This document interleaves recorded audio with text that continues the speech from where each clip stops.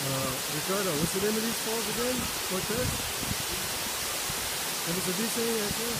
Catarata Catarata? llanos de Cortez. y Cortez, sí. Llanos Claro, claro, claro. Muy bonito. ¿no?